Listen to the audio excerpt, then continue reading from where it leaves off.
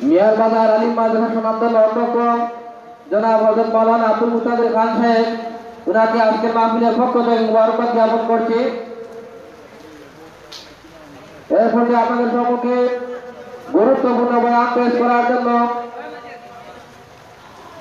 অনুরোধ করছি, মিয়ার বাজার, আলিম মাদ্রাসা সনামদন অধ্যক্ষ, বিশিষ্ট আলেমেটির হজরত মৌলানা আব্দুল আব্দুল মুক্তাদির খান সাহেবকে।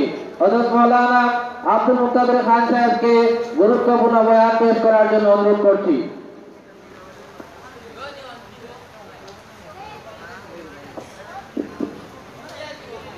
السلام عليكم ورحمة الله وبركاته نحمده ونستعينه ونستغفره ونؤمن به ونتوكل عليه ونعوذ بالله ونعوذ بالله من شرور أنفسنا ومن سيئات أعمالنا. من يهده الله فلا مضل له ومن يضلله فلا هادي له. ونشهد أن لا إله إلا الله وحده لا شريك له. ونشهد أن سيدنا ونبينا وحبيبنا وشفيعنا ووسيلتنا ومولانا محمدا عبده ورسوله صلى الله عليه وسلم. أما بعد فقد قال الله تعالى في كلامه المجيد والفرقانه الحميد.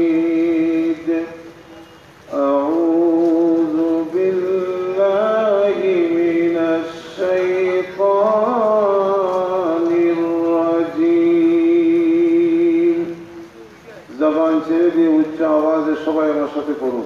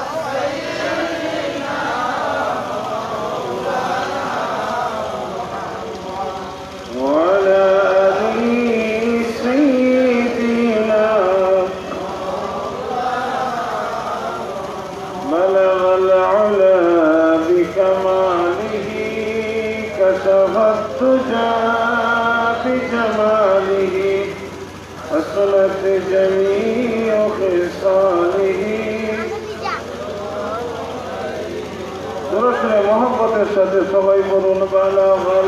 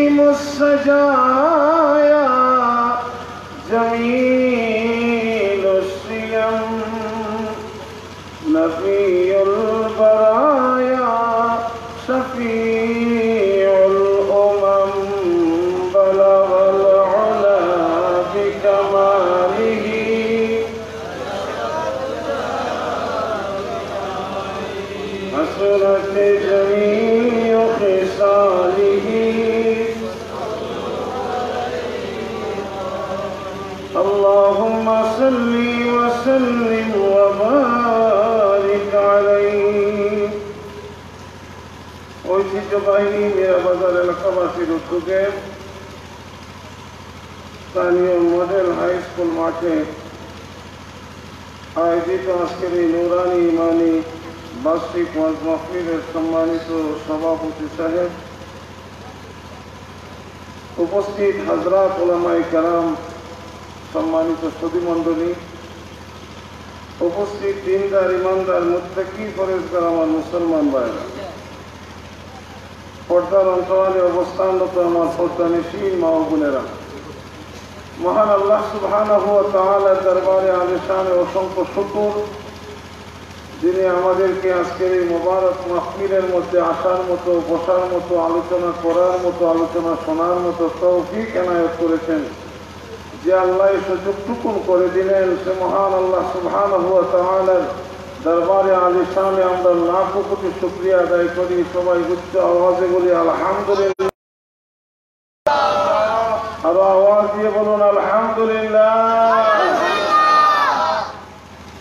যদিও আজকে প্রতিকূল আবহাওয়া, তারপরে আল্লাহর দরবারে আমরা শুক্রিয়া আদায় করি। আজকের এই সিলেট সহ সারা দেশের যারা কৃষক আছেন আজকে বৃষ্টির জন্য আল্লাহর দরবারে ফরিয়াদ করতেছেন, আল্লাহ, একটু বৃষ্টি দিয়ে আমাদের জমিগুলাকে তুমি নরম করে দাও। যেগুলা পুরো জমির মধ্যে যে সমস্ত ফসল যারা রয়েছেন, আজকে সেই মাঠগুলা পেটে চৌচির হয়ে গেছে। পানির অভাবে কৃষকেরা হাহাকার করতেছে। আল্লাহ শত শত কৃষকের সেই আহাদারিকে কবুল করে আকাশ থেকে রহমতের বৃষ্টি নাজিল করেছেন, আলহামদুলিল্লাহ বলুন। এই বৃষ্টিটা আমাদের জন্য একটা নিয়ামত। আজকের এই বৃষ্টির কারণে লক্ষ লক্ষ বনে আদমের খাদ্যের অভাব পূর্ণ হবে। আলহামদুলিল্লাহ বলুন। যদিও আমাদের মাহফিলে বসতে একটু কষ্ট হচ্ছে, তারপরেও আল্লাহর নিয়ামতকে আমরা খুশি না বেজার। আরও জোরে বলুন, খুশি না বেজার? আবার উচ্চ আওয়াজে আমরা বলি, আলহামদুলিল্লাহ। মাস্তরম হাজিরিনে কেরাম মাহফিল শুরু হয়েছে দুপুর থেকেই ধারাবাহিকভাবে ওলামা হজরাতের জবান থেকে আপনারা অত্যন্ত গুরুত্বপূর্ণ আলোচনা শুনে আসতেছেন। ইতিপূর্বে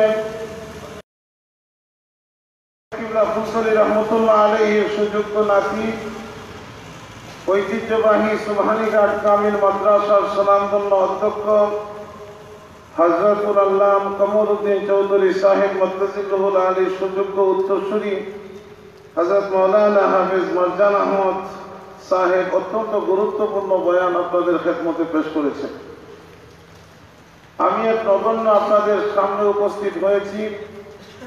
আমার মধ্যে এমন কোনো জ্ঞানও নাই, ইলিমও নাই, আমলও নাই, যা বলে আপনাদেরকে আমি সন্তুষ্ট করতে পারব। তারপরেও কর্তৃপক্ষের নির্দেশ, কিছু সময় আপনাদেরকে নিয়ে যেন আমি কিছু সময় অতিক্রম করি। আমি আপনাদের খেদমতে পবিত্র কালামে পাক থেকে টুকা আয়াতে কারিমা তেলাওয়াত করেছি। যদি আল্লাহ পাক রব্বুল আলামিন তৌফিক দান করেন, সে আয়াতে কারিমার উপর ভিত্তি করে দু একটি কথা বলার চেষ্টা করব। ওমা তৌফিক ইল্লা বিল্লাহ। আলাইহি তাওয়াক্কালতু ওয়া ইলাইহি উনীব মাহতারাম হাজরিন کرام যে আয়াতে করিমা আপনাদের খেদমতে আমি তেলাওয়াত করেছি সেই আয়াতের মধ্যে আল্লাহ রাব্বুল আলামিন বলছেন কুল হে নবী আপনি বলে দিন অনাগত ভবিষ্যতে কেমন পর্যন্ত যত মানুষ এই পৃথিবীর মধ্যে আসবে শুধুমাত্র নবীর যুগের মানুষদেরকে নয় শুধুমাত্র সাহাবাই কালামদের উদ্দেশ্যে করে নয় বরং কেয়ামত পর্যন্ত যত মানুষ এই পৃথিবীর মধ্যে আসবে, সমস্ত মানুষের উদ্দেশ্যে আপনি বলে দিন, ইন্নাল মানুষ যারা পৃথিবীর মধ্যে আসে, আমরা যারা আসি, মানুষ এই পৃথিবীর থেকে ফিরে যেতে চায় না, কেউ মরতে চায় না। সবসময় মানুষের একটাই চিন্তা যে মৃত্যু থেকে কীভাবে মানুষ বাঁচতে চায়। কীভাবে মানুষ বাঁচতে পারে, এই চিন্তাই সবসময় মানুষের অন্তরের মধ্যে আসে না নাই? আরও জোরে বলুন আসে না নাই? না, আমরা মরতে চাই। আমরা মরতে চাই না বাঁচতে চাই? আমরা বাঁচতে যে চাই, এই কথাটা আল্লাহ রব্বুল আলামিন জানেন কি জানেন না? আল্লাহ রব্বুল আলামিন আমাদের মনের খবরটা জানেন। যার কারণে আমরা যে বাঁচতে চাই, আর বাঁচতে যে চাই, চাইলেই যে আমরা বাঁচতে পারব না তার সতর্ক সংকেত আজ থেকে পনেরোশো বছর আগে নবীর মাধ্যমে কোরআন শরীফের মধ্যে আল্লাহ বলে দিয়েছেন। আল্লাহ বলেন, ইন্নাল মৌতাল্লাজি তাফিরুনা মিনহু ফাইন্নাহু মুলাকিকুম। হে নবী, আপনি বলে দিন তাম, দুনিয়ার মানুষদেরকে, তারা শুধু মৃত্যু থেকে পলায়ন করতে চায়। যে মৃত্যু থেকে মানুষ পলায়ন করতে চায়, বাঁচতে চায়, বেঁচে থাকতে চায় বা ইন্নাহু মুলাকিকুম। আপনি বলে দেন সেই মৃত্যুর মোকাবিলা অবশ্যই তাদেরকে করতে হবে। আমাদের মরতে হবে কি হবে না? আরও জোরে বলুন, মরতে হবে কি হবে না? আমরা যদি হাজারো চেষ্টা করি, তাহলে কি বাঁচা যাবে? এই পৃথিবী, এই পৃথিবীর মধ্যে বেঁচে থাকার জায়গা নয়। এই পৃথিবীটা হচ্ছে মানুষের জন্য একটা স্টপিস মানুষের জন্য একটা স্টেশন, একটা বিশ্রামাগার, একটা সার্ভিস স্টেশন। যেমন কোনো মানুষ যদি সিলেট থেকে ঢাকার উদ্দেশ্যে রওনা করে, রাত্রে মনে করেন নাইট পৌঁছে একজন মানুষ অথবা ডে পৌঁছে রাখার উদ্দেশ্যে রওনা দিল, সিলেট টার্মিনাল থেকে বাস যখন ছেড়ে দেয়, তখন মধ্যখানে একটা যাত্রা বিরতি নেয় নেয় কি নেয় না। উজানপাটি হোক অথবা অন্য কোনো জায়গায় হোক বৈরবের আগে উজানপাটিতে গিয়ে সুপারভাইজার পৌঁছের পরে সম্মানিত যাত্রী মহোদয়গণ, আমরা এখন বিশ মিনিটের যাত্রা বিরতিতে যাচ্ছি। ঠিক না বেঠি? আমরা বিশ মিনিটের যাত্রা বিরতিতে যাচ্ছি। এটা হচ্ছে একটা স্টপেজ একটা সার্ভিস স্টেশন একটা বিরতি বিরতিস্থল এটা কিন্তু আমাদের লাস্ট ডেস্টিনেশন নয়, আমাদের গন্তব্যস্থল কিন্তু উজানবাটি নয়। আমাদের গন্তব্যস্থল কোন জায়গায়? ঢাকা। আমরা রওনা দিছি কোন জায়গার থেকে? সিলেট থেকে, যাব কোথায়? ঢাকা। কিন্তু মধ্যখানে উজানবাটি বা গৈরব হচ্ছে যাত্রা বিরতি স্থল। এখন রাত বারোটার সময় যদি একটা কোচ ছেড়ে যায়, তাহলে উজানবাটিতে গিয়ে পৌঁছলো রাত দুই আড়াইটায়। তখন নতুন যদি কোনো যাত্রী হয় আর উজানবাড়ির যখন রেস্টুরেন্টের সামনে গিয়ে লাল, নীল, সবুজ পাখি যখন দেখল, দেখে যদি মনে করে এই বোধহয় ঢাকায় এসে পৌঁছে গেছি। আর হ্যান্ডব্যাগ সব কিছু হাতের মধ্যে নিয়ে যদি সে বিশ্ব রোড দিয়ে হাঁটা শুরু করে, এই বোধহয় আমার গন্তব্যস্থানে এসে গেছি। তাহলে এটা কি তার জন্য গন্তব্যস্থল? না সে একটা স্টেশনের মধ্যে আটকা পড়ছে? কোন জায়গায়? একটা স্টেশনের মধ্যে আটকা পড়ছে, তার গন্তব্যস্থান কিন্তু এটা নয়। এজন্য মানব জাতি পৃথিবীর মধ্যে আমরা এসেছি, এটা আমাদের জন্য গন্তব্য স্থান নয়, এটা আমাদের লাস্ট ডেস্টিনেশন নয়। আমাদের ডেস্টিনেশন হচ্ছে আরেকটা জায়গা, সেটা হচ্ছে আল্লাহর জান্নাত। ধরে বলুন, সুবহানাল্লাহ।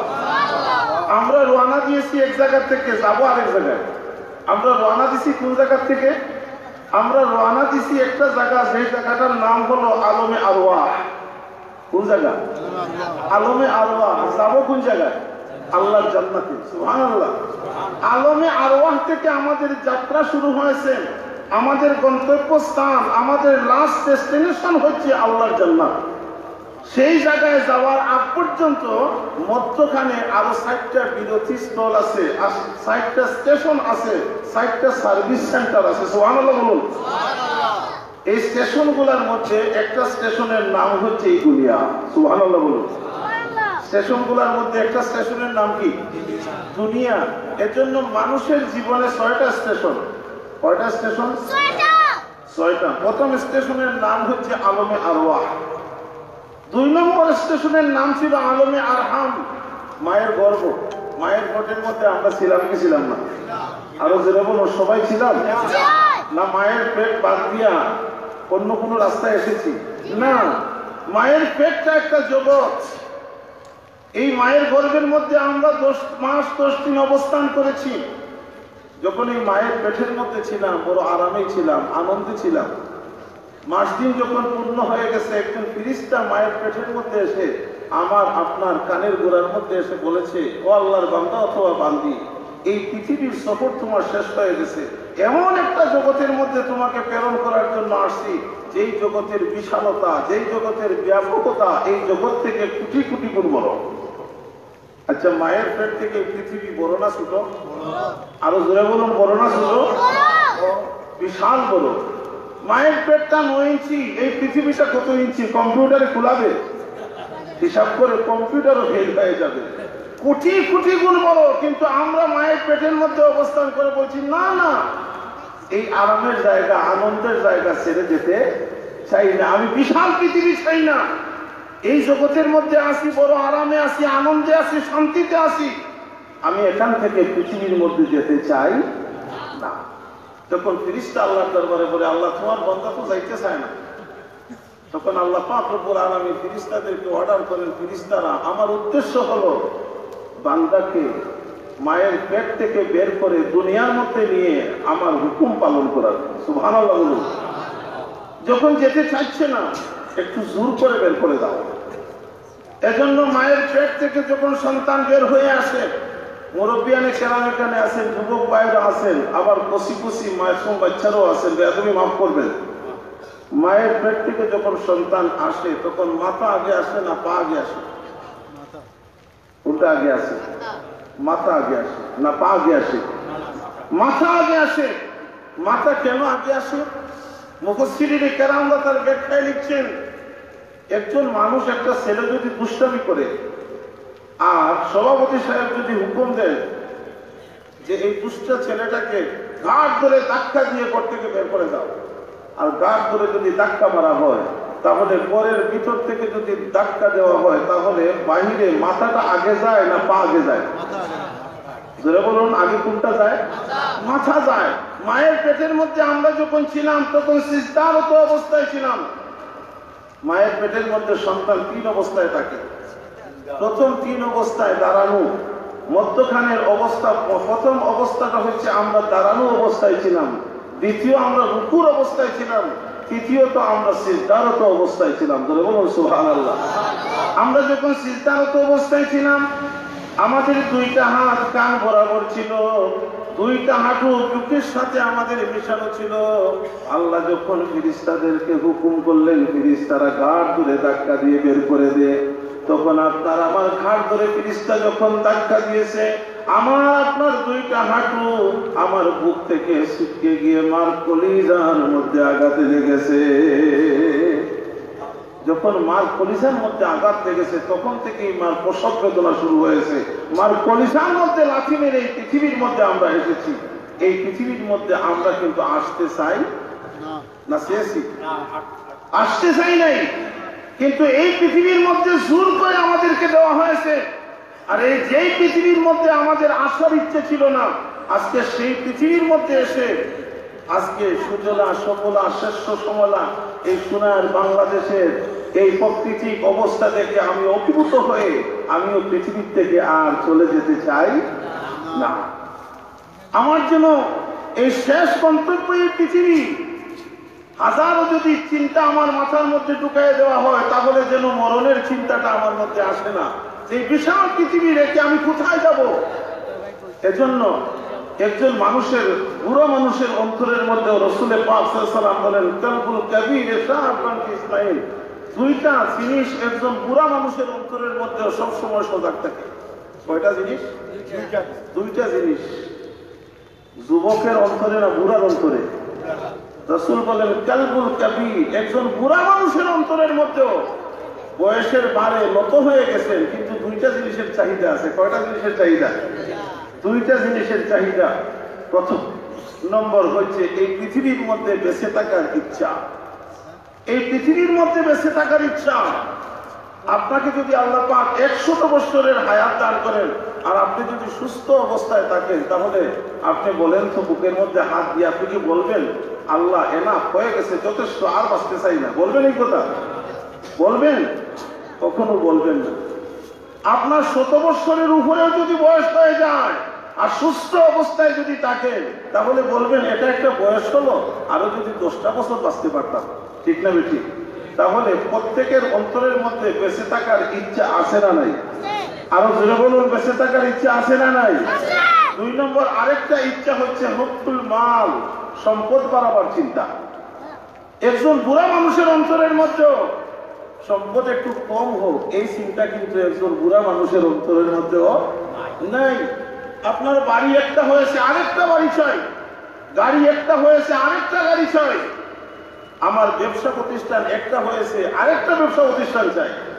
না, কেউ বলবেন যে, আল্লাহ, একটা প্রতিষ্ঠান হয়েছে, আর দরকার নাই। একটা বাড়ি হয়েছে, আর দরকার নাই। আপনার একটা বাড়ি হয়েছে, বলবেন, আরেকটা বাড়ি যদি হতো? যদি প্রশ্ন করা হয়, কেন? একটা বাড়ি তো যথেষ্ট। বলবেন, আল্লাহ দুইটা ছেলে দিয়েছে। এখন একটা বাড়ি, আমি যদি দুনিয়া থেকে চলে যাই, তাহলে একটা বাড়ি নিয়ে দুইটা ছেলে বিরোধ করবে, তাদের মধ্যে ঝগড়া হবে। দুইটা বাড়ি যদি সেপারেট করে যেতে পারে, তাহলে আমাদের সন্তানদের মধ্যে বিরোধের মীমাংসা করে যেতে পারলাম। আপনার গাড়ি একটা হয়েছে, বলবেন, আরেকটা গাড়ি যদি হতো। প্রশ্ন যদি করি যে কেন আরেকটা গাড়ির দরকার, একটা গাড়ি তো যথেষ্ট। বলবেন, একটা গাড়ি নিয়ে তো সকাল থেকে আমি সারা রাত, সারা দিন ঘুরতে থাকি। কিন্তু আমার বিবি সাহেব আমি সুযোগ পান না, তিনি কিন্তু আমার উপর খুব বেজার। আরেকটা গাড়ি যদি হতো, তাহলে ওনার জন্য একটা, আমার জন্য একটা। ঠিক না বেটি? এইরকম চিন্তা আসে না নাই দুইটা গাড়ির মালিক হয়েছেন তারপরেও কি আপনি বলবেন, যথেষ্ট হয়ে গেছে? না, আপনার জন্য একটা, আপনার বিবির জন্য একটা। বলবেন, আমার ছেলের জন্য যদি আরেকটা গাড়ি হতো? এইরকম ইচ্ছা আছে না নাই আসলে সম্পদের চাহিদা কি শেষ হয়ে যায়? এক কোটি টাকার মালিক যদি আল্লাহ আপনাকে বানাইয়া দেন এখন তো কোটি টাকা আসলে কোনো সংখ্যা হিসাবেই আসে না। এক কোটি টাকার মালিক যদি আপনি হয়ে যান, তাহলে আপনি বলবেন, আল্লাহ এনাফ যথেষ্ট, কাফি। আপনি দানের দরজাটা একটু বন্ধ করে দেন, আর কিন্তু আমার রাখার জায়গা নাই। বলবেন? কখনো বলবেন না। আপনি বলবেন আরে এক কোটি টাকা যদি হতো একটা ইন্ডাস্ট্রির মালিক হয়েছি আরও যদি একটা ইন্ডাস্ট্রির মালিক হতাম এই ইচ্ছাটা প্রত্যেকের অন্তরের মধ্যে আছে না নাই? আরও জুড়ে বলুন আছে না নাই? আমাদের সব সময় দুইটা জিনিসের চিন্তা আর সব চিন্তা বাদ দিলাম। সম্পদ বাড়াবার চিন্তা আর এই পৃথিবীর মধ্যে বেঁচে থাকার ইচ্ছা। হাজারো ইচ্ছা আমাদের অন্তরের মধ্যে তাক না কেন? হাজারো চেষ্টা করে কি আমরা বাঁচতে পারব? যেটা বলুন, বাঁচতে পারব? আল্লাহ বলেছেন শূন্য নাফসি জায়গাতুল মৌত প্রত্যেক প্রাণী মৃত্যুর স্বাদ গ্রহণ করতে হবে। মৃত্যু থেকে কেউ পলায়ন করতে পারবে না। মরণ থেকে যতই পালাও, মরণ তোমায় লইবে গিরি। যদিও সুদূর আকাশ পরে, লুকাও সে তাই লাগিয়ে সিঁড়ি। মরণ থেকে যতই তুমি পালাবার চেষ্টা করো না কেন মরণ থেকে কখনো বাঁচতে পারবে না। আমরা যখন জন্মগ্রহণ করেছি জন্মগ্রহণ করার জন্ম শব্দের পাশাপাশি আরেকটা শব্দ লিখা আছে সেটার নাম কি? মৃত্যু। এটা কি অস্বীকার করা যায়? দূরে বলুন অস্বীকার করা যায়? এই পৃথিবীর মধ্যে বনি আদমের মধ্যে অনেক মানুষ আছে যারা পরকালকে অবিশ্বাস করে। এরকম লোক আছে না নাই? পরকালকে অস্বীকার করে। বলে আখেরাত বলতে কিছু নাই। এরকম লোক আছে না নাই? কয় কবর বলতে কিছু নাই? মিজাম বলতে কিছু নাই? ফুলসিনাত বলতে কিছু নাই? হাসর বলতে কিছু নাই? নাই নাই বলতে বলতে বলে there is no god Allah বলতেও কেউ নাই। নাউজুবিল্লাহ বলুন। এইরকম নাস্তিক আছে না নাই? নাই নাই বলতে বলতে বলে আল্লাহ কেউ নাই। আমাদের সৃষ্টিকর্তা বলতে কেউ নাই। যে সমস্ত নাস্তিকেরা আল্লাহকে পর্যন্ত অস্বীকার করছে, ওই সমস্ত নাস্তিকেরাও একটা কথা স্বীকার করতে বাধ্য, জন্ম যখন নিয়েছি, মৃত্যুবরণ করতে হবে। ঠিক না ঠিক আল্লাহ মানে না, কিন্তু মরণকে মানে কি মানে না? জোরে বলুন, মরণকে মানে কি মানে না? তাহলে প্রত্যেকের জীবনে মরণ আসে না নাই? তবে এখানে জন্ম এবং মৃত্যুর মধ্যে একটা পার্থক্য আছে। পার্থক্যটা কি? পার্থক্য হলো, আমরা এই পৃথিবীর মধ্যে যখন এসেছি, এটাকে বলে জন্ম। আর যখন আমরা পৃথিবী থেকে চলে যাব, তখন আমরা এটাকে কি বলি? মৃত্যু। এই পৃথিবীর মধ্যে যখন আমরা এসেছি, তখন একটা সিরিয়াল মেনটেন করে এসেছি। একটা ধারাবাহিকতা রক্ষা করে কিন্তু এসেছি। কেউ সিরিয়াল ভঙ্গ করে এই পৃথিবীর মধ্যে আসতে পারেন নাই, আসার সুযোগও নাই। যেমন সিরিয়ালটা কীভাবে আমরা মেনটেন করেছি, আমরা ধারাবাহিকতা কীভাবে রক্ষা করেছি, এই পৃথিবীর মধ্যে যখন আমরা এসেছি, প্রথমে আমার দাদা এসেছে। আমার দাদার পরে কে এসেছেন আমার বাবা। না, বাবার করে দাদা হয়েছে। ইতিহাসের মধ্যে কি বাবার করে দাদার জন্ম হয়েছে কোনোদিন শুনেছেন? তাহলে সিরিয়ালটা কীভাবে আগে আমার দাদা, তারপরে কি? আমার বাবা আমার বাবা পরে আমি, আমার পরে আমার সন্তান, ঠিক না বেদি এই ধারাবাহিকতা রক্ষা করেই আদম থেকে নিয়ে আজ পর্যন্ত এই সিরিয়াল মেনটেন করে সবাই পৃথিবীর মধ্যে আসতেছেন। আর কেমন পর্যন্ত যারা আসবেন সিরিয়াল বঙ্গ করে কেউ পৃথিবীতে আসার সুযোগ নাই। কিন্তু পৃথিবীর থেকে যখন যাওয়ার সময় এসে যায়, তখন সিরিয়াল সিরিয়াল আর কিছু লাগে না। যেমন দাদা সুস্থ অবস্থায় আছে। নাতির লাশ দাদার কাঁধে উঠে গেছে। এরকম হয় কি হয় না? দাদার কাঁধের মধ্যে নাতির লাশ উঠে এটা কি অস্বীকার করা যায়? এটা কি অবাস্তব? বাস্তব। অনেক বাবা সুস্থ অবস্থায় আছে। ছেলে যুবক বট থেকে বের হয়েছে হঠাৎ করে অ্যাক্সিডেন্ট করে ইন্তেকাল করছে। বাবার কাঁধের মধ্যে সন্তানের লাশ উঠে গেছে। তাহলে এখানে কি কোনো সিরিয়াল আছে? সিরিয়াল নাই। এই পৃথিবীর মধ্যে আসার ক্ষেত্রে ধারাবাহিকতা আছে, কিন্তু যাওয়ার ক্ষেত্রে কোনো ধারাবাহিকতা নাই। এজন্য সাইর বলেন, মুসাফির হে হাসব হাম কবর আখির ঠিকানা কই আগে রওয়ানা হে কই পিছে রওয়ানা পৃথিবীর মধ্যে মুসাফির হিসাবে এসেছ। এই পৃথিবীর মধ্যে স্থায়ীভাবে বসবাস করার জন্য তুমি আসো নাই। তুমি পৃথিবীর মধ্যে মুসাফির হিসাবে এসেছ। আজ না হয় কাল। কাল না হয় পরশু। পরশু না হয় তরশু। তরশু না হয় পরশু। একদিন না একদিন পৃথিবীর থেকে ছেড়ে যেতে হবে কি হবে না? আরও ধরে বলুন, হবে কি হবে না? এজন্য শাইর বলতেছেন আয়া হ তুম মিশরে বুলবুল সাইরে গুলশন কে লিয়ে আজ নেহি তু কালকে জানা আজ নেহি তু কালকে জানা সব তো আখের জানে ওয়ালে আজ না হয় কালকে, কাল না হয় পশু সব এই পৃথিবী থেকে চলে যেতে হবে। কেউ এই পৃথিবীর মধ্যে থাকা সম্ভব নয়। আপনি যদি হাজারো চেষ্টা করেন বাঁচার জন্য, আপনি যদি চিন্তা করেন যে আমি মরণ থেকে যদি বাঁচতে চাই, তাহলে বিরাট মজবুত করে যদি একটা অট্টালিকা, একটা বিল্ডিং যদি তৈরি করি, মজবুত রড দিয়ে যদি গিরিল ঠিক করি, আর যেখানের মধ্যে আশ্রয় ঢুকার সুযোগ হবে না, আমিও মরব? না। এরকম চিন্তা মানুষের মধ্যে থাকা স্বাভাবিক না অস্বাভাবিক? ইমাম গাজদালি রহমতুল্লাহ আলাইহির যুগে বাদশাহ ছিলেন। বাদশাহ বহুদিন চেষ্টা করে গদি দখল করেছে। তখন বাদশাহ যে পরিমাণ জনশক্তি, যে পরিমাণ অর্থবল, যে পরিমাণ জনবল, যে পরিমাণ অস্ত্রবল, যদি শুধুমাত্র বেঁচে থাকতে পারেন, তাহলে ক্ষমতা ছিনাই নেওয়ার শক্তি কারও নাই। তো মনে মনে বাদশাহ যখন রাত গভীর হয়, চিন্তা করেন, আমি তো ক্ষমতায় এসেছি, সব ঠিক আছে, জনশক্তিও আছে অর্থশক্তি আছে অস্ত্রবল আছে, সব ঠিক আছে। কিন্তু যদি শুধু বাচ্চা থাকতে পারি, তাহলে ক্ষমতার থেকে কে আমাকে সরায়? এখন চিন্তাটা হলো, আমার গদির চিন্তা না, গদি তো দখলই করছি। কারণ এই গদিটা এত মানে এই কি বলব, যে গদির মধ্যে যদি কেউ যায়, তাহলে এই গদির থেকে আর কখনো নামতে চায় না। যে আমাকে, কোন শক্তি আমাকে গতি থেকে নামাতে পারবে না। যদি মৌত আমাকে আক্রমণ না করে তো একদিন রাত্রে ঘুমাবার সময় মনে মনে চিন্তা করে পরিকল্পনা করে যে মৌত কীভাবে বাঁচা যায়। মরার থেকে বাঁচানোর তো চিন্তা মাঝে মাঝে হয় কি হয় না? তো বাসা মনে মনে চিন্তা করে বালিশের মধ্যে মাথা লাগাই। যে যদি আমি সমুদ্রের উপরে মজবুত করে একটা বিল্ডিং তৈরি করি আর সেই বিল্ডিং এর মধ্যে যদি মজবুত করে আমি দরজা ফিটিং করি রাত্রে যখন ঘুমাবো, মজবুত করে দরজা আমি আটকায় ঘুমাবো, তখন কেউ ঢুকতে পারবে না। আজরাইলও ঢুকার সুযোগ পাবে না। আর আজরাইল যদি না ঢুকতে পারে, তাহলে তো আমি মরবো না। হ্যাঁ? কল্পনা করতেছি। এইরকম আমরা মাঝে মধ্যে কল্পনার জগতে হাবুডুবু খাই কি খাই না।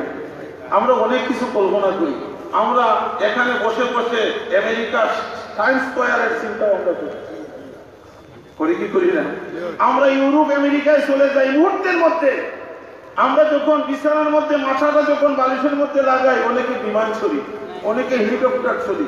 আমিও ছোটবেলায় একবার যখন ছাত্র ছিলাম ক্লাস এইট বা নাইনে পড়ি, তখন আমার খুব ইচ্ছা দেখছিল যে আমি কি বিমান চড়বো তো চিন্তা করে করে আসলে প্রতিদিনই একটা চিন্তা আসে, বিমান কি চলবো কোনোদিন তো বিমান চুরি নাই। তো আমি একদিন রাত্রে খাবে দেখি আমি একটা বিমানের মধ্যে উঠছি। বিমানটা সিলেট থেকে রওনা করছে, একটা পাহাড়ের উপর দিয়ে যাচ্ছে। তো পাহাড়ের সাথে বিমানটা ধাক্কা লাগছে, ক্রাশ হয়ে গেছে, ফেটে গেছে। বিমান যখন ফেটে গেছে, তখন আমি সেই বিমান থেকে অন্যান্য যাত্রীরাও পড়ছে আমিও পড়ছি অনেক উপর থেকে যখন পড়ছি তখন একটা পাহাড়ের উপর যখন পড়লাম আমার একটা পা ভেঙে গেছে, আমার একটা হাত ভেঙে গেছে। আমি খুব যন্ত্রণা পাচ্ছি। চিৎকার যখন দিছি, তখন সজাগ হয়ে গেছে। সজাগ হয়ে আমি প্রথমে হাত দিলাম, ডান হাত দিয়ে যে বাম হাতটা ঠিক আছে না নাই। আমি হাত দিলাম, বাম পাটা আমার ঠিক আছে না নাই। আমি দেখলাম আমার পাও ঠিক আছে, হাতও ঠিক আছে। কিন্তু আমি যে বিমানে ছিলাম, আসলে বিমানে না, আমি যে পাড়া খাতার নিচে ছিলাম, ওই খাতার নিচেই শুয়ে আছি। কিন্তু রেজাল্টটা কি হলো? আমি তো এটা হাত দেখেছি। হাত কিন্তু অস্বীকার করবেন না। হাত কিন্তু হেলায় আপনারা ফেলে দিবেন না। খাপটা অনেক খাপটা আছে, আপনার বছিরেই সেটা রেজাল্ট পাওয়া যায়। অনেক খাপ আছে, একটু দেরিতে। দেরিতে সেই রেজাল্ট পাওয়া যায়, অনেক খাপ আছে পাওয়া যায় পরকালে পাওয়া যায় এজন্য খাপ যখন দেখবেন আপনার শুক্রিয়া আদায় করবেন ভালো খাপ যদি দেখেন তাহলে শুক্রিয়া আদায় করবেন আর যদি মন্দ খাপ দেখেন তাহলে সকাল সকাল ঘুম থেকে উঠে আল্লাহর রাস্তায় কিছু সদকা করে দিবেন আল্লাহ পাক রব্বুল আলামিন সদকার বিনিময়ে সব পরামর্শ করে দিবেন আমি তো ছাত্র বয়সে দেখেছি এই টাইমে করেছি আমি চিন্তা করলাম এত বিমানে উঠলাম আর বিমান অ্যাক্সিডেন্টও করলাম। আমি কি কোনোদিন বিমান চড়তে পারব? দীর্ঘদিন বিমান চড়া হলো না। উনিশশো নিরানব্বই ইংরেজির থেকে বিমান চড়া শুরু হলো। এ পর্যন্ত বাহাত্তর বার বিমান চড়া হয়ে গেছে। বাহাত্তর বার বিমান চড়া হয়ে গেছে। আল্লাহ শুক্রিয়া আদায় করি, আলহামদুলিল্লাহ। আর এই বিমানটা শুধুমাত্র বাংলাদেশে নয়, ইউরোপ, আমেরিকা সহ বিভিন্ন দেশে দুনিয়ার প্রায় তেরোটা দেশে পর্যন্ত শহর হয়ে গেছে আলহামদুলিল্লাহ। তা খাবে দেখেছি। আমি কিন্তু সে সময় চিন্তাও করি নাই আমি এত বিমান দিয়ে চলবো কিন্তু আল্লাহ পাক রব্বুল আলামিন আমাকে এ পর্যন্ত ছড়াচ্ছেন আল্লাহ শুক্রিয়া আলহামদুলিল্লাহ। তো বাদশাহ মনে মনে কল্পনা করতেছেন যে আমি যদি সমুদ্রের উপরে মজবুত করে যদি একটা গোট তৈরি করি যেখানে আজরাইলও না, তাহলে তো আমি বাঁচতে পারব। আজরাইল যদি ঢুকতে না পারে, তাহলে কি আমার আমার কি কে মারবে? এই চিন্তা করে করে করে করে বাদশার চুকের মধ্যে ঘুম লাগিয়েছে। ঘুম যখন লাগছে, ঘুমের পরে স্বপ্ন বাদশাহ স্বপ্ন দেখা শুরু করছে। আলহামদুলিল্লাহ বলুন। স্বপ্নে কি দেখেন? স্বপ্নে দেখেন বাদশাহ শুক্রবার দিন জুমান নামাজ পড়ার উদ্দেশ্যে মসজিদে গেছেন। কোথায় ঢুকছেন? মসজিদে। মসজিদের জুমার নামাজের পূর্বে আমাদের দেশে প্রত্যেকটা মেম্বরে ইমাম সাহেবরা বয়ান করেন কি করেন না? আরও জোরে বলেন। আধা ঘণ্টা চল্লিশ মিনিট বয়ান করেন পাঁচশো মসজিদের মধ্যে ঢুকছেন। ঢুকেই শুনতেছেন ইমাম সাহেব বয়ান করতেছেন। বয়ানের এক পর্যায়ে ইমাম সাহেব বলতেছেন, কোরআন শরীফের উদ্ধৃতি দিয়ে আইনামা তাকুনু ইউদরিকুমুল ওয়ালাউ কুনতুম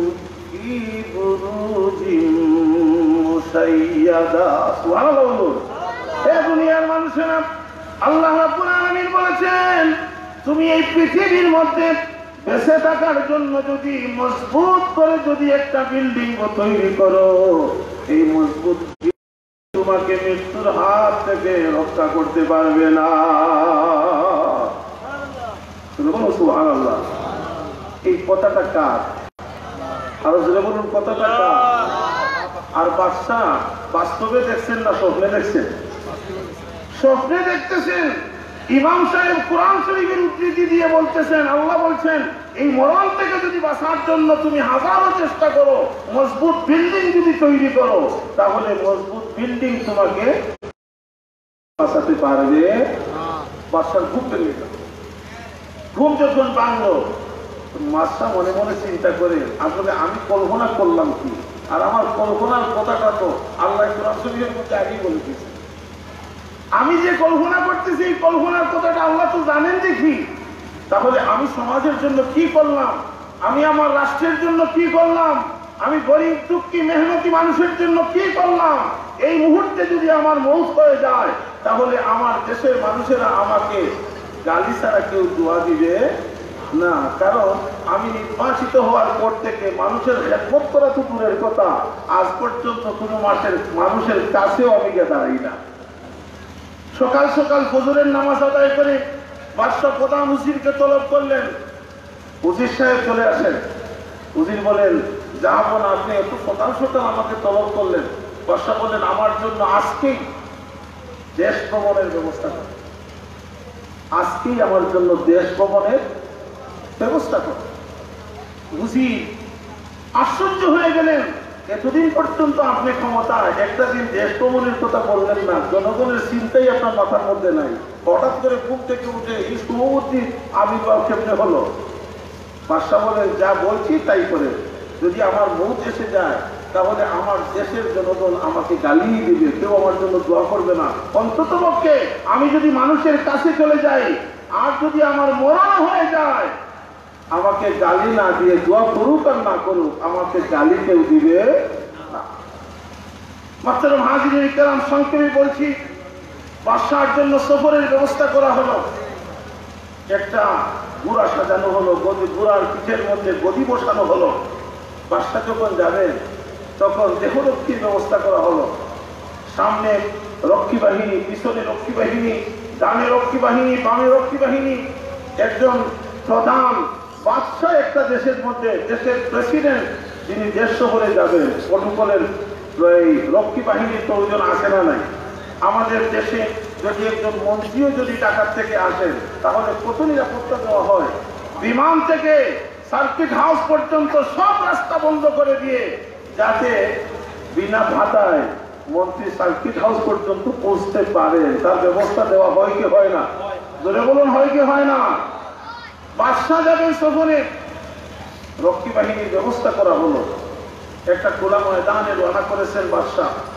বাদশাহ হঠাৎ করে দেখেন বাদশার পুরার সামনে এক বুড়া মানুষ গলার মধ্যে ভিক্ষার ঝুলি। ভিক্ষার ঝুলি ঝুলানো। একজন বৃত্ত মানুষ দুইটা হাত উঁচু করে বলে, বাদশাহ, একটু বুড়াটা থামান একটু বুড়া থামান বাদশাহ অবাক হয়ে গেলেন। আমি দেশ সফরের জন্য বের হয়েছি, আর বেচারা তো আমার সামনে দাঁড়িয়েছে, আসলে তো সাহস কম না? আর সাহস নিয়ে যখন দাঁড়িয়েছে, আসলে তো তার একটা উদ্দেশ্য আমার কাছে কিছু চাইবে। আর আমার তো চিন্তাধারার পরিবর্তন হয়ে গেছে। বাদশাহ বলতেছেন, বাবা, আমি বুঝতে পেরেছি। তুমি কি জন্য আমার রাস্তা আটকাবার চেষ্টা করছ? আমি বুঝতে পেরেছি। আমার চিন্তাধারার পরিবর্তন হয়ে গেছে। তুমি আমার কাছে কিছু চাইবে, সবার জন্যই আমার সামনে এসেছ। আমার প্রয়োজন হবে না। এই মুহূর্তে আমি দাঁড়াবারও সময় নাই। এক কাজ করবা, কালকে সকাল আটটার সময় তুমি আমার অফিসে চলে যাইবা। অফিসে যাওয়ার পরে তুমি তোমার অভাবের কথা সব খুলে খুলে বলবা, সব ইচ্ছা আমি করে ফকির লোকটা বলতেছে বাদশাহ আগামীকাল পর্যন্ত তো আমি অপেক্ষা করতে পারব না। এই সময় আমার হাতের মধ্যে নাই। তখন বাদশাহ বলতেছেন আমি না বললাম যে তোমাকে আগামীকালকে আসার জন্য। ফকির লোকটা বলতেছে, আমি না বললাম যে আমার আগামীকাল পর্যন্ত অপেক্ষা করার নাই। আমি তো আপনার কাছে কিছু চাওয়ার জন্য আসি নাই। আপনি মেহরবানি করে আমার কথাটা শুনেন। বাদশাহ চিন্তা করলেন যে, আজাইরা যদি আমি বারবার যদি তর্ক বিতর্ক করি, তাহলে সময় কেমন হবে। এর চাইতে একটু, এক মিনিটে আমি তার কথাটা একটু শুনে দিই একটু তার কথাটা কি করি? শুনি তাহলে তো সমস্যা দূর হয়ে গেল। তখন বাদশার বুড়ার পিঠের মধ্যে একটা পা আর মাটির মধ্যে একটা পা। টানটা বানায় বলে বাবা কি তোমার? তোমার কথাটা কি একটু তাড়াতাড়ি বলো? দেখো না আমার রক্ষী বাহিনী সব সামনে চলে গেছে। আমার তো নিরাপত্তার প্রয়োজন আছে। আমি বাদশা মানুষ নিরাপত্তার প্রয়োজন আছে কি নাই? তাড়াতাড়ি বলো। তখন ফকির লোকটা বলতেছে বাদশাহ আসলে আপনি যা ভাবতেছেন তা কিন্তু আমি না তুমি কয়, আমি মানুষই না। আপনি তো আমাকে ফকির ভাবতেছেন। ফকির তো মানুষের মধ্যেই হয়। আমি আসলে মানুষই না। সোহান আল্লাহ বলুন বলে তাহলে তুমি কে? বলে আনা আজরাইল। আমার নাম হচ্ছে আজরাইল। সোহান আল্লাহ আচ্ছা আজরাইলের নাম যখন শুনেন তখন মনের মধ্যে ভয় হয় কি হয় না? বলুন আজরাইল নাম শুনলে ভয় হয় কি হয় না? যত বাদশা থাকেন না কেন, আজরাইলের নাম যখন শুনছে, তখন যেন মাটি, পায়ের নিচ থেকে মাটি সব বসে গেছে। বলে, ভাই আজরাইল, তুমি এত তাড়াতাড়ি আমার সামনে চলে আসছে তাহলে তো আমার হয়তো বা সময় নাই। আজরাইল বলতেছে বাদশাহ দুনিয়ার মুসাফিরি আপনার শেষ হয়ে শেষ হয়ে গেছে। এই মুহূর্তেই আল্লাহর হুকুমে আপনাকে চলে যেতে হবে সোহান বলুন। বাদশাহ বলেন, ভাই আজরাইল, আমাকে একটা মাসের সময় দেওয়া যায় না। আজকে ফেব্রুয়ারি মাসের পঁচিশ তারিখ। মার্চের পঁচিশ তারিখ পর্যন্ত আমাকে একটু সময় দেওয়া যায় না। তুমি একটা মাসের সময় দাও। আমি ক্ষমতায় বসার পর থেকে আজ পর্যন্ত আমার জনগণের সাথে সাক্ষাৎ করতে পারি নাই। আমি আজকে মনস্থির করে আমি আমার জনগণের সাথে দেখা করার জন্য বের হয়েছি। আমার এতটুকু সময় দাও। আপনি যদি আজরাইল চলে আসে আর যদি আপনি আজরাইলকে পাই না, যদি বলেন, তুমি আমার আব্বা লাগে আব্বাও যদি ডাকেন, তাহলে আজরাইল কি সময় দিবে? যদি বলুন, সময় দিবে? সময় দিবে না। আর আপনার বিরুদ্ধে যদি কোনো ওয়ারেন্ট মামলা হয়, ওয়ারেন্ট যদি মামলা হয়, থানার থেকে যদি পুলিশ আসে, একটু যোগাযোগ যদি করে, তাহলে সাইরা দেওয়ার সম্ভাবনা আছে না নাই? ধরে বলুন। পুলিশের হাত থেকে বাঁচার সুযোগ আছে না নাই? পুলিশের হাত থেকে বাঁচার সুযোগ আছে না নাই? কেউ বললেন নাই কেউ বললেন তাদের নাই। এই দেশের মধ্যে যত বড় সমস্যায় পড়েন না কেন সব সমস্যার সমাধান। যদি হাতের মধ্যে টাকা থাকে তাহলে কোনো সমস্যাই আপনার সমস্যা নাই। আপনি হাজারো মার্ডার করেন শত মার্ডার করেন মার্ডার করেও বাঁচার উপায় আছে না নাই? থাকতে হবে কি? মানে থাকতে হবে। টাকার পিছনে সব ঘুরে সব ম্যানেজ করা যায়। আজকে টাকা যেখানে আছে আমরাও আছি সেখানে।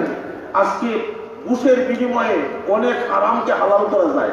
অনেক হালালকেও হারাম করা যায়। ঘুষের কথা আছে না নাই? অবৈধ ব্যবসা আছে না নাই? আপনারা বলবেন, আপনারা ভয় পাবেন। আজকে যেখানে, আজকে আজকে একেবারে ইউনিয়ন পরিষদ থেকে নিয়ে শুরু করে মন্ত্রণালয় পর্যন্ত প্রত্যেকটা জায়গায় জায়গায় গেলে উঠ চায় কি চায় না। আজকে সিলেট হসপিটালে যান, সেখানে গুড় চাই কি চায় না।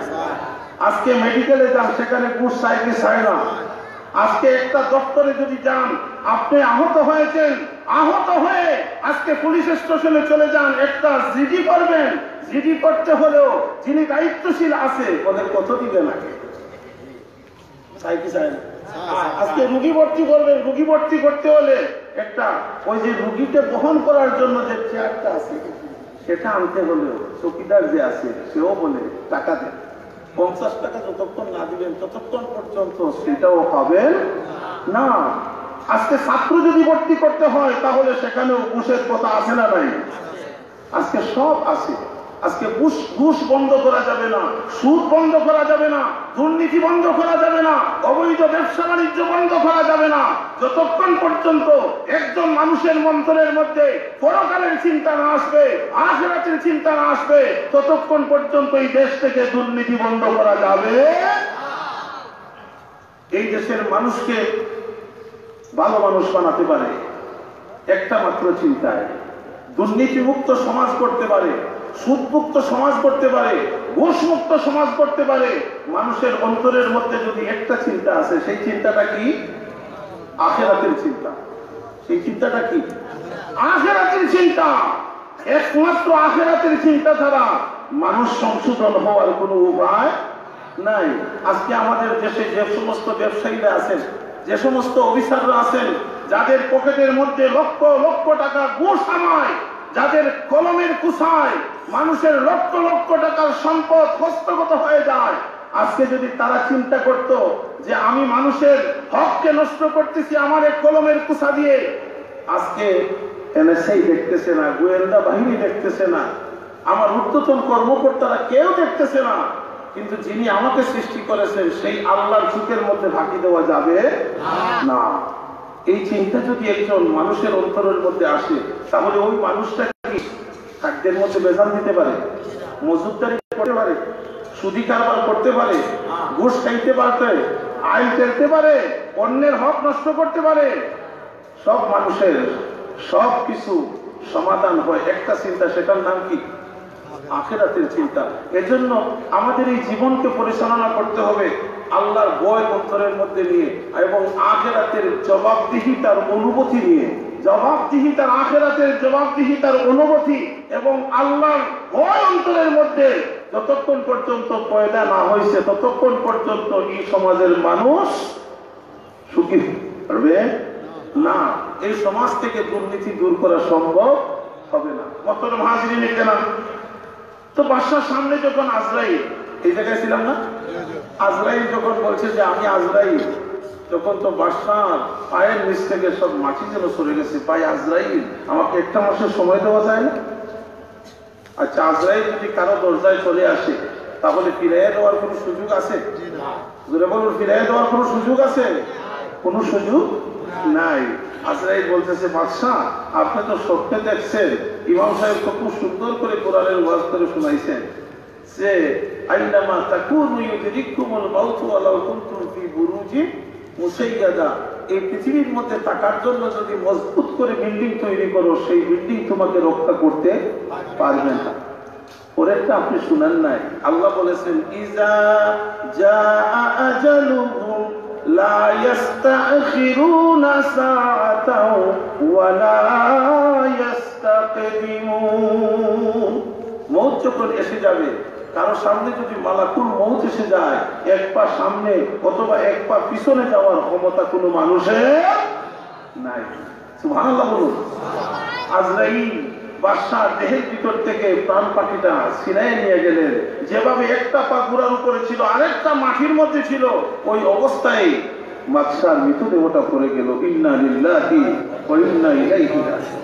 এজন্য সাই বলেন মৌত জিসে দিন আ গই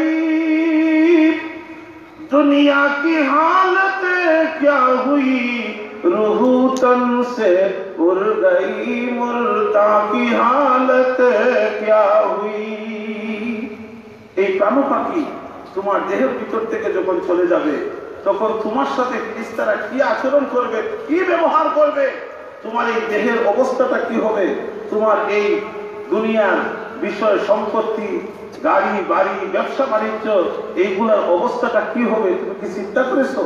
এইগুলা কোনো কাজে আসবে না।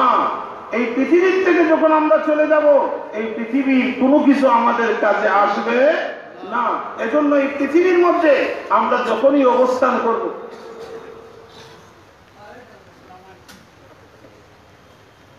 আমরা যখন এই পৃথিবীর মধ্যে আমরা যখন থাকব তখন আমাদেরকে চিন্তা করতে হবে, এই দুনিয়ার চিন্তা না আখেরাতের চিন্তা?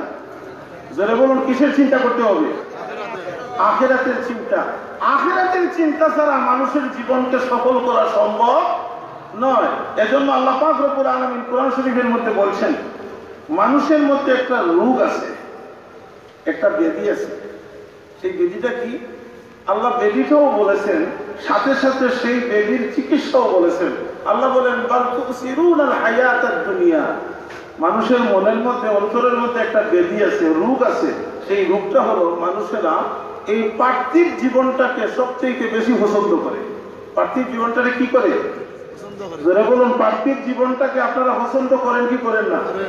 এটা আল্লাহ বলতেছেন এটা মানবের একটা রূপ। এটা চিকিৎসার প্রয়োজন আছে না নাই? আরও জোরে বলুন চিকিৎসার প্রয়োজন আছে না নাই? এটা চিকিৎসা কি? বল এই দুনিয়ার অবস্থার চাইতে আখেরাতের চিন্তা করাটাই হচ্ছে রোগের চিকিৎসা। সুবহানাল্লাহ রোগটা কি মানবের দেহের মধ্যে রোগ কি? দুনিয়ায় টাকার ইচ্ছা। পার্থিব জীবনকে অগ্রাধিকার দেওয়া, এই রোগের চিকিৎসাটা কি? আখেরাতের চিন্তা করা। আখেরাতের চিন্তা যখন করবেন, রোগের চিকিৎসা হয়ে যাবে। এজন্য আপনি ব্যবসা করেন, বাণিজ্য করেন আপনি চাকরি করেন, আপনার জীবনের সব কাজের মধ্যে চিন্তা রাখতে হবে কোন জগতে? দুনিয়ার জগৎ না আখেরাতে? যে এ জগৎ শেষ নয়, আরও জগৎ আছে। এ জগৎকে নিতে হবে, সে জগতে কাছে। এই পৃথিবীর মধ্যে আমি যা করতেছি, সব কিছুর একদিন জবাব দিতে হবে। সেই আসরের ময়দানে জবাব দেওয়ার জন্য উঠতে হবে কি হবে না? জোরে বলুন, হবে কি হবে না? এজন্য এই পৃথিবীর মধ্যে আমরা যা করব আখেরাতের চিন্তা করেই করব। আখেরাতের চিন্তাই মানুষদেরকে সংশোধন করতে পারে।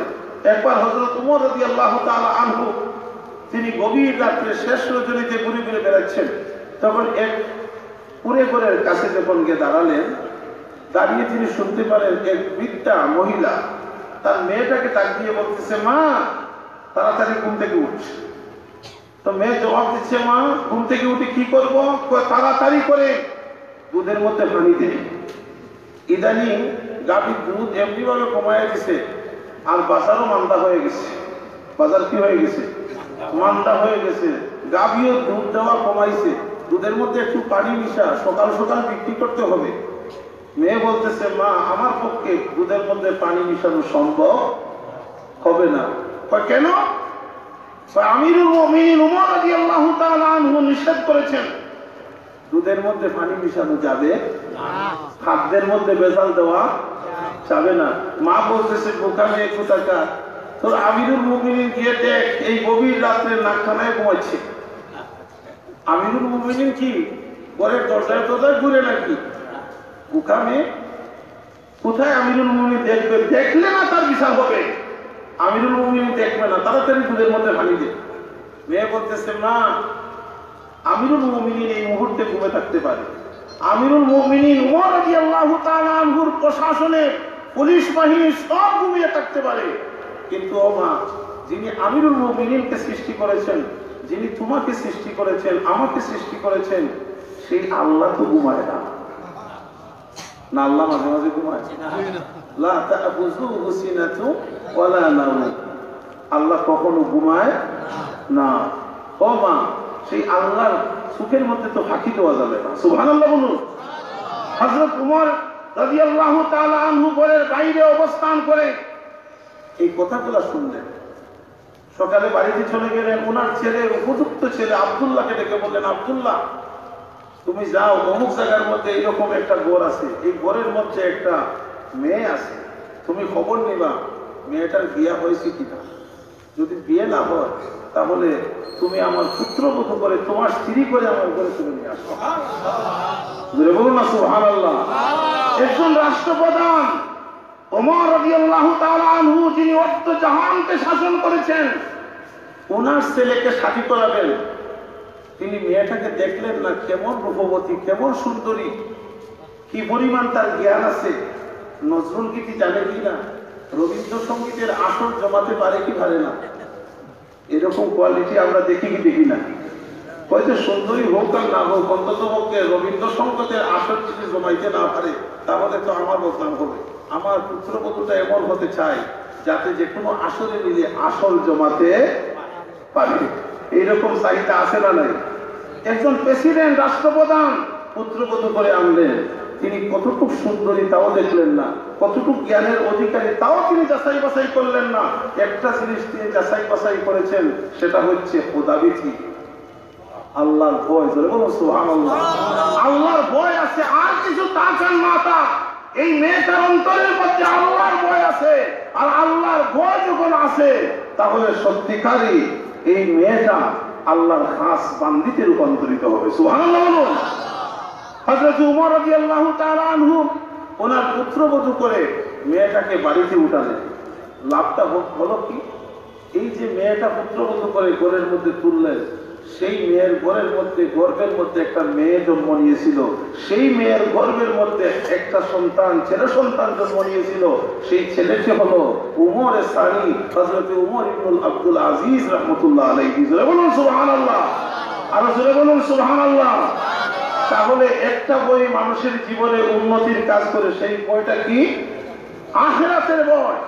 আল্লাহর ভয় এবং আখেরাতের চিন্তা।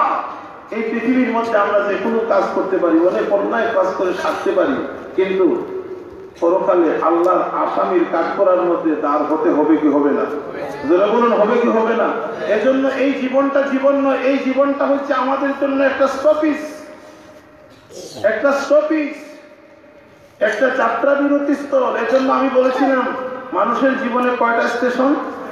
ছয়টা। প্রথম স্টেশনের নাম কি? আলমে আরওয়া। দুই নম্বর স্টেশনের নাম আলমে আরহাম। তিন নম্বর স্টেশনের নাম আলমে দুনিয়া। সুবহানাল্লাহ বলুন। এটা কি শেষ? এটা কি শেষ? এটা শেষ নয়। আমাদের মৃত্যু হবে। হবে কি হবে না? তখন আরেকটা জগতের যাত্রী আমরা হব। সেটার নাম কি? আলমে কবরের জীবন। বলে বলুন না সুহান আল্লাহ এই জগৎ পর্যন্ত আমরা একটা দাফের মধ্যে ছিলাম। আমাদের এই মৌত যখন হব, মৃত্যু যখন হব, এই মৃত্যুটা আমাদের কেন হবে? এই মৃত্যুটা হবে কারণ মৃত্যু ছাড়া পরকালে আল্লাহ আমাদের কাছ থেকে হিসাব নিতে পারবেন না। এজন্য আল্লাহ বলেন, কাইফা তাকফুরুনা বিল্লাহি ওয়া কুনতুম আমওয়াতান ফাআহইয়াকুম, সুম্মা ইউমীতুকুম, সুম্মা ইউহয়ীকুম সুম্মা ইলাইহি তুরজাউন। কেমনে তুমি তোমার প্রভুর সাথে, আল্লাহর সাথে তুমি নাফরমানি করো?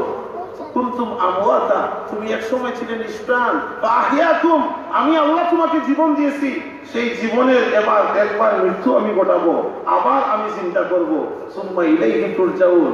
একবার ছিলে না, তুমি হয়েছো, আবার থাকবে না, আবার চিন্তা করব।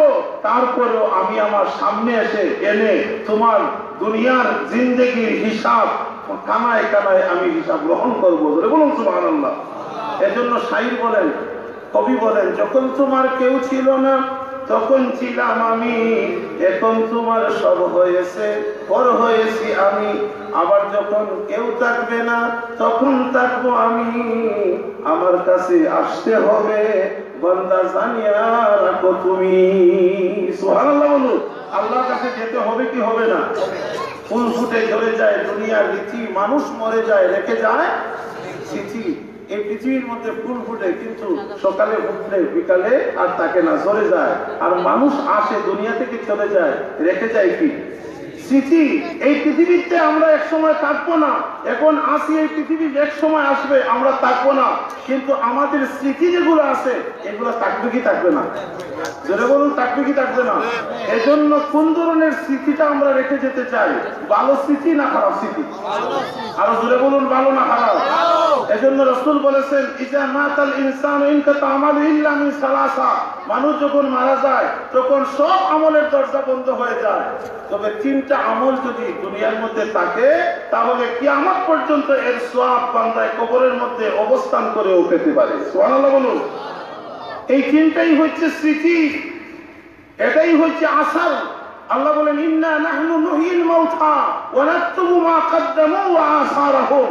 নিশ্চয়ই আমি আল্লাহ মুর্দাদেরকে চিন্তা করব এবং আমার ফিরিস্তারা লিপিবদ্ধ করে বান্দার জীবদ্দশায় যে সমস্ত আমল করে তাও ফিরিস্তারা লিপিবদ্ধ করে। ও আশা রাহুম আর মানুষ মারা যাওয়ার পরে যে সমস্ত আমল করে তাও লিপিবদ্ধ? সুবহানাল্লাহ বলুন না। দুনিয়ার মধ্যে থাকা অবস্থায় আমরা আমল করি ভালো করি আর মন্দ করি ফিরিস্তারা লিখে কি লিখে না? আল্লাহ বলতেছেন মা কাদ্দামু আসারহুম মারা যাওয়ার পরেও যে সমস্ত আমল করবে তাও ফিরিস্তারা লেখে। এখন যাওয়ার পরে কি আমল করার সুযোগ আছে? সুযোগ নাই।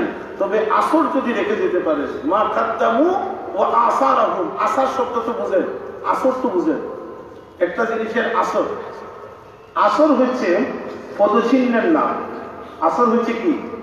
পদচিহ্নের নাম যেমন অগ্রহের মাসে আমরা আপনারা অনেক গ্রাম থেকে শহরে এসেছেন আমিও কিন্তু গ্রামের লোক।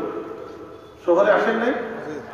যখন গ্রামের মধ্যে অগ্রহের মাসে যখন ধান কাটা হয় তখন দেখবেন পৌষ মাসে একটা আড়াআড়ি রাস্তা তৈরি হয় ক্ষেতের মধ্যখান দিয়ে। আচ্ছা এই রাস্তাটা যখন তৈরি করা হয় এটা কি মাটি কাটার প্রয়োজন হয়েছে? ইট বালির প্রয়োজন হয়েছে? যখন ধানটা কাটা হয়েছে তখন এই রাস্তার মধ্যখান দিয়ে একজন পথিক প্রথমে চলছে। চলার পরে তার পায়ের চিহ্নটা জমিনের মধ্যে পড়ছে। এই চিহ্ন দেখে আরেকজনে হাঁটছে। হাঁটতে হাঁটতে হাঁটতে হাঁটতে আপনার খুনাখুনি একটা রাস্তা হয়ে গেছে। এই রাস্তা তৈরি করার জন্য মাটিরও প্রয়োজন হয় নাই, বালিরও প্রয়োজন হয় নাই, ইটেরও প্রয়োজন হয় নাই। শুধু ব্যবহার হয়েছে পায়ের চিহ্ন ঠিক না বেঠিক এই যে পদচিহ্নের মাধ্যমে যে রাস্তাটা তৈরি হয়, এটার নাম কি? আসল এই পৃথিবীর মধ্যে আমি আসি একসময় আমি থাকব না। কিন্তু ভালো জিনিসের আসল যদি এই পৃথিবীর মধ্যে আমি রেখে যেতে পারি, আমি যদি এই পৃথিবীর মধ্যে ভালো জিনিসের আসল কি? আমি যদি কিছু জ্ঞান এই পৃথিবীর মধ্যে রেখে যেতে পারি, যেই জ্ঞানের দ্বারা মানুষ উপকৃত হতে পারে। আমি যদি একটা প্রতিষ্ঠান রেখে যেতে পারি আমি যদি একটা মসজিদ তৈরি করে দিতে পারি, একটা মাদ্রাসা তৈরি করে দিতে পারি, একটা মক্তব তৈরি করে যেতে পারি, একটা শিক্ষা প্রতিষ্ঠান যদি তৈরি করে যেতে পারি, এমনকি মানুষের সুবিধার জন্য একটা রাস্তা যদি তৈরি করে যেতে পারি, তাহলে কিয়ামত পর্যন্ত এই পৃথিবীর মধ্যে আমার ভালো কাজের আসর থাকবে। কি থাকবে? ভালো কাজের আসর থাকবে। এই এই ভালো কাজের আসরটা যতদিন পর্যন্ত থাকবে, আমার দানের যে রাস্তাটা তৈরি হয়েছে, এই রাস্তা দিয়ে যতদিন পর্যন্ত মানুষ চলবে, আমার টাকায় যে মসজিদটা নির্মাণ করা হয়েছে, এই মসজিদে যতদিন পর্যন্ত মুসল্লিরা নামাজ পড়বে, আমার টাকায় যে মক্তবটা তৈরি হয়েছে, যেই মক্তবের মধ্যে যতদিন পর্যন্ত ছাত্র ছাত্রীরা লেখাপড়া করবে তারা যখন তেলাবত করবে তাদের হিসা অনুযায়ী তারা সব পাবে। মুসল্লি মসজিদে দাঁড়িয়ে নামাজ পড়লে তার নামাজের সব সে পাবে। কিন্তু আমি যে আপনি যে এই মসজিদের মধ্যে সহযোগিতা করেছেন যতদিন নামাজ চলবে সংখ্যা অনুযায়ী মুসল্লিদের সংখ্যা হিসাব করে এক একটা সব আপনার আমল নামার মধ্যে পৌঁছে দেওয়া হবে। এটার নাম কি? আসার এটার নাম কি?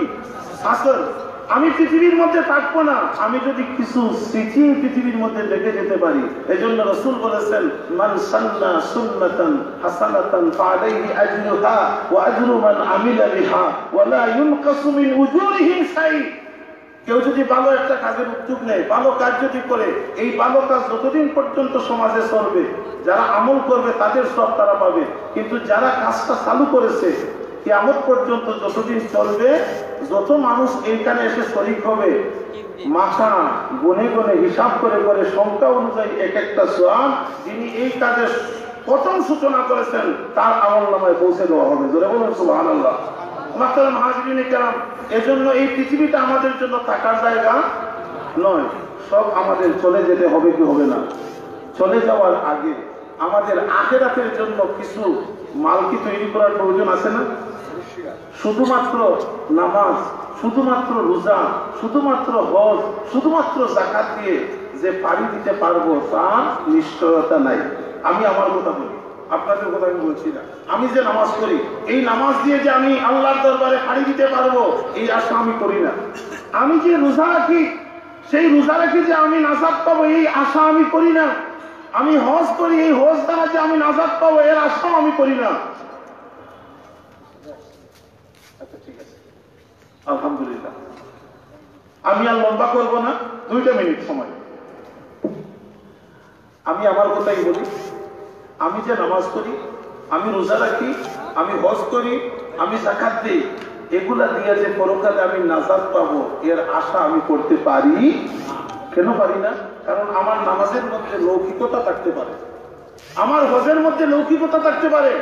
আমার জাকাত প্রদানের মধ্যে লৌকিকতা থাকতে পারে। অনেক মানুষ হজ করে। কয়, আমার বন্ধু বান্ধব অনেক আছে, নামের আগে কাজী লাগানি কাজী লাগানো তারপরে কারি লাগানো, হাফিজ লাগানো, মৌলানা লাগানো। কিন্তু আমি এত সম্পদশালী হলাম, আমার নামের আগে কিছু লাগাইতে পারলাম না। তাহলে টাকা যখন আছে একটু মক্কা শরীফ চলে যাই অন্তত পক্ষে আইসা তো হাজি লাগানো যাবে। আইসা কি লাগানো যাবে? হাসি লাগানো যাবে।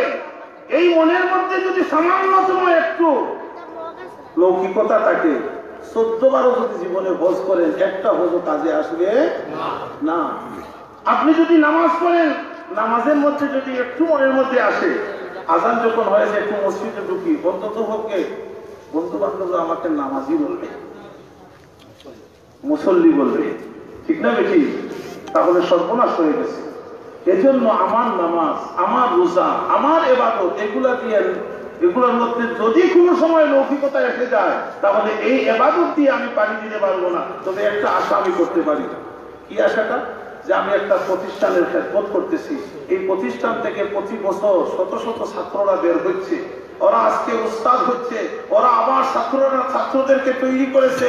কেমন পর্যন্ত এই ছাত্রদের ছাত্র ছাত্রদের ছাত্র ছাত্রদের ছাত্র যখন হবে, তখন হাজার হাজার ছাত্র হয়ে যাবে। এই ছাত্ররা যখন একবার বিসমিল্লাহির রহমান রহিম করবে, সঙ্গে সঙ্গে এক হাজার নয়শো নাকি তার আমল নামার করবে। আর আমার ছাত্রের মধ্যে যদি এক হাজার ছাত্র হয়, তাহলে এক হাজারটা নেকি আমার আমল নামার মধ্যে পৌঁছে যাবে। আমি যদি পৃথিবীর মধ্যে ভালো কাজের কিছু আসর রেখে যেতে পারি, তাহলে এটাই আমার জন্য নাজাতের বসিলা হতে পারে। আল্লাহ পাক আলমিন আমাদেরকে এই দুনিয়ার মধ্যে অবস্থান করে আখেরাতের চিন্তা করার জন্য তৌফিক দান করে দেন। আর এই পৃথিবীর মধ্যে কিছু ভালো কাজের আসর যেন রেখে যাওয়ার সুযোগ আল্লাহ পাক আমাদের দান করেন আল্লাহ আমার যেন ভালো কাজের আসর রাখতে পারি আল্লাহ যেন আমাদের সবাইকে তৌফিক দান করে দেন সবাই বলে আমিন ওয়া আখিরু দাওয়ানা আনিল হামদুলিল্লাহি রাব্বিল আলামিন আল্লাহুম্মা আমিন ربنا ظلمنا انفسنا وان لم تغفر لنا وترحمنا لنكونن من الخاسرين ربنا تقبل منا إنك أنت السميع العليم. وتب علينا يا مولانا إنك أنت التواب الرحيم. اللهم اغفر لي ولوالدي رب ارحمهما كما ربياني صغيرا. আয় আল্লাহ, এই মাহফিলকে তুমি থেকে আপনার পর্যন্ত কবুল আর মঞ্জুর করে নাও। আল্লাহ, এই মাহফিলের আয়োজন করতে গিয়ে তোমার যত বান্দা মান্দিরা টাকা দিয়া, পয়সা দিয়া, শ্রম দিয়া, বুদ্ধি উপস্থিত হয়ে সহযোগিতা করেছেন, প্রত্যেকের খেদমতকে তুমি কবুল আর মঞ্জুর করে নাও। আল্লাহ, এই মাহফিলের উসিলায় আমাদের জীবনের গুণাগুলাকে তুমি মাফ করে দাও। বাকি জীবন তোমার মকবুল গোলামের তৌফিক দান করে দাও। আয় আল্লাহ আজকের এই মাহফিলের ওসিলায় আমাদের প্রত্যেকের অন্তরের সব নেক উদ্দেশ্যগুলোকে তুমি পুরো করে দাও আল্লাহ আমাদের মধ্যে অনেক অসুস্থ অবস্থায় আছে সুস্থতা দান করে দাও আল্লাহুম্মা সাল্লি আলা সাইয়্যিদিনা মুহাম্মাদিন বিআদাদি কুল্লি দাইন ওয়া দাওয়া ওয়া বিআদাদি কুল্লি ইল্লাতিন ওয়া শিফা আল্লাহুম্মা ইয়া শাফিয়াল আমরাদ ইশফি আমরাদানা ওয়াশফিনা ওয়াশফি মারদানা ইয়া রাব্বাল আলামিন بفضل سبحان ربك رب العزة عما يصفون وسلام على المرسلين والحمد لله رب العالمين آمين. السلام عليكم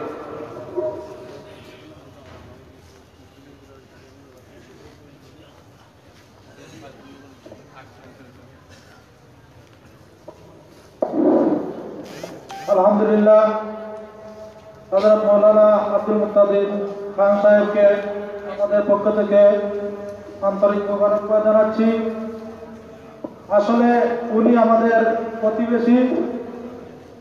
উনি আমাদের মাহফিলের দাওয়াত শুনেই উনি নিজের থেকে সবসময় খোঁজখবর রাখেন ওনার বাসা শিবগঞ্জ। উনি জগন্নাথপুর একটি মিরপুরে মাদ্রাসার প্রিন্সিপাল। বিশ্বনাথ মিয়ার বাজার। সম্মানিত উপস্থিতি, আজকের অনুষ্ঠানের প্রধান অতিথি আওলাদের রসুল সৈয়দ আল্লামা মুস্তাক আহমদ মাদানী, উনি ইতিমধ্যেই আমাদের মধ্যে এসে পৌঁছেছেন। হুজুর, রেস্টে আছেন। আজকের অনুষ্ঠানের বিশেষ অতিথি